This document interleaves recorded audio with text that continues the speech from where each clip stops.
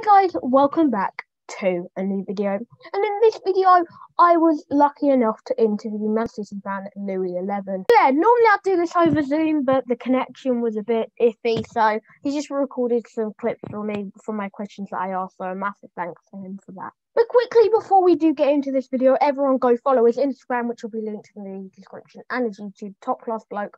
Thank you for coming on the channel once again.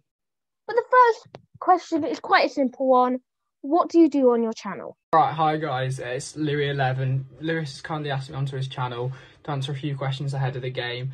So um, the first one was just what I do over on my channel. So it's just a lot of Manchester City content. I have my YouTube channel, which is Louis11, spelled Louis XI, and then I have my Instagram account too, which is Talk MCFC, and that's like kind of the bigger account. But on my YouTube, I'm trying to start to do more general football and general streams as well as just City too question is, what key threats do you have at Manchester City? Obviously, there's loads, so it'd be interesting to see what you have. All right, so the first question is what the key threats are at City. So I'd probably say, especially for this game, if Phil Foden starts, Foden, because how much energy he brings to the team, how much he has. Um, obviously, Kevin De Bruyne too, because it's just the obvious selection.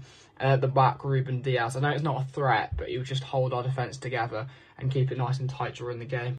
The third question is what players do you fear as at Brighton. In terms of fearing players from Brighton, I would say uh, Lamptey, Ty- Tariq Lamptey, but obviously he's not available for the game. I don't think anyway. I think he's still injured. So I'd probably say maybe Trossard cutting in off the left hand side or the right hand side, wherever he's playing, because he can cut in and whip it across nicely. So he could be a decent threat. And then also Maupay if he's on in form, but he's been a bit out of form recently, so I'm not too sure.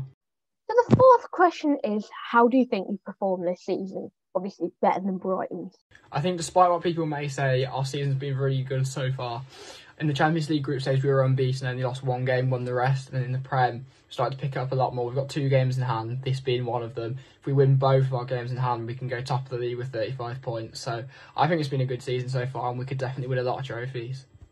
And finally, the big one. What do you think the score will be? This will be probably a thumping, but it'll be interesting to hear what he says. Finally, what do I think the score will be? I reckon it's going to be 3 0 Manchester City. I can't see really Brighton getting anything from this game, especially given like recent form. And we've just been so clinical recently, and the amount of clean sheets we're keeping. Confident for the game. Um, so yeah, 3 0 City. Also, just a big thanks to Lewis for asking me on the channel today. I appreciate it. Check out my channel if you can, Louis11. But yeah, nice one.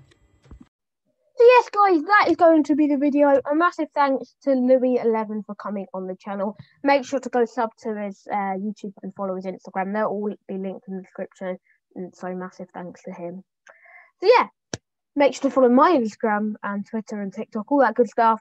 Follow my second channel, all that good stuff. And I will see you in the next one. Goodbye and up the Albion.